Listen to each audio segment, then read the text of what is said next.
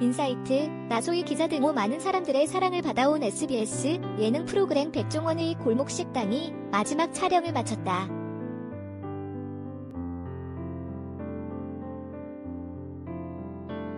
지난 25일 금새록은 자신의 인스타그램을 통해 골목식당 마지막 촬영을 마쳤어요라는 글과 함께 여러 장의 사진을 공개했다.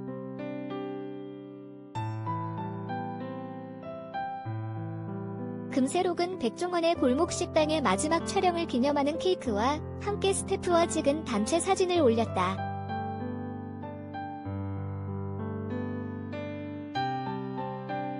그러면서 금세록은 지난 6개월 동안 골목 식당과 함께 할 수 있어 감사했어요 라고 남다른 소감을 밝혔다.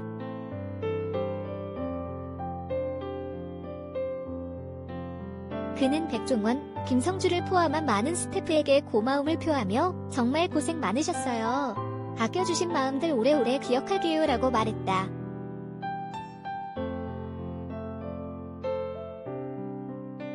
이어 마지막 방송까지 아직 한 달이 남았으니 끝까지 많은 사랑 부탁드려요 라면서 남은 방송을 잘 봐달라고 덧붙이기도 했다.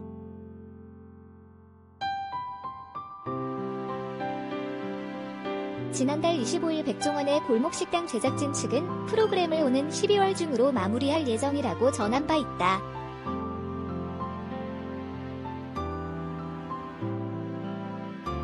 제작진은 골목식당은 4년 동안 시청자들을 만나왔고 이제는 프로그램의 전환점이 필요한 시점이라는 판단했다면서 종영을 결정하게 된 이유도 설명했다.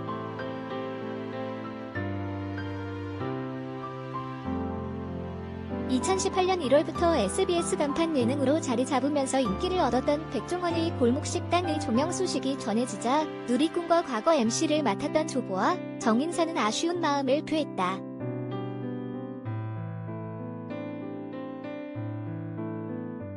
한편 골목식당은 매주 수요일 오후 10시 30분에 방송된다.